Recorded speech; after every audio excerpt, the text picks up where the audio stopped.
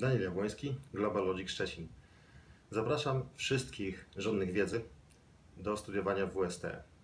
To jest uczelnia, z którą my, jako jeden z głównych partnerów, otworzyliśmy jeden kierunek studiów, niedługo otworzymy następny. Wszystkich tych, których interesuje rozwój oprogramowania, zapraszam bardzo serdecznie. To jest miejsce, gdzie naprawdę można się wiele nauczyć.